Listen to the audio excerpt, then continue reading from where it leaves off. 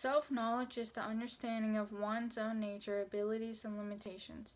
Self knowledge provides an insight into ourselves.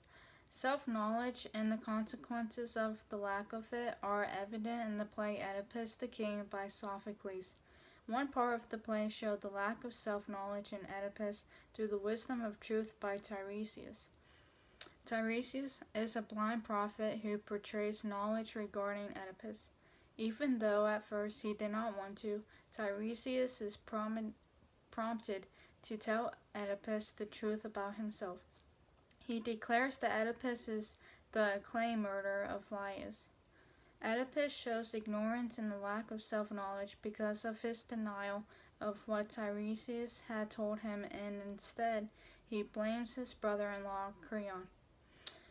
Throughout the play, even with all the clues and signs, Oedipus believes that the prophecy is wrong because his father died a natural death, not knowing that King Laius was his real father and King Polybus was his father through adoption. In the end, Oedipus' lack of self knowledge and his discovery of the truth about himself brings tragedy not only to himself but to his family. His wife Jocasta, who he finds out was also his mother, kills herself. His brother in law, Creon, must banish Oedipus out of the kingdom to appease the god Apollo and deal with the death of his sister, sister Jocasta. Oedipus' two daughters have lived to live the rest of their lives in shame, and in the end, Oedipus gouges out his eyes.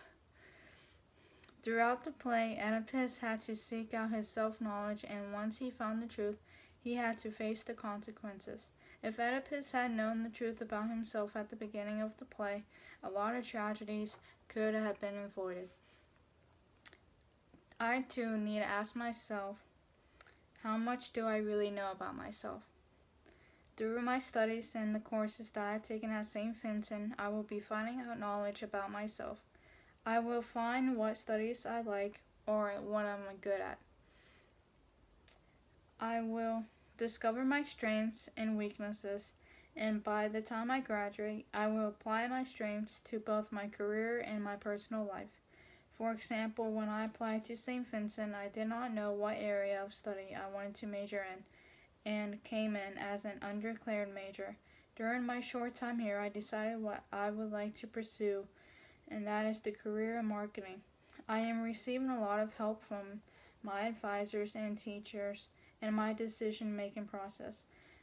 My, by being honest with myself and by the courses that I'm taking, I will either prepare myself for this career or perhaps it will make me realize that I need to focus my attention on pursuing a different career.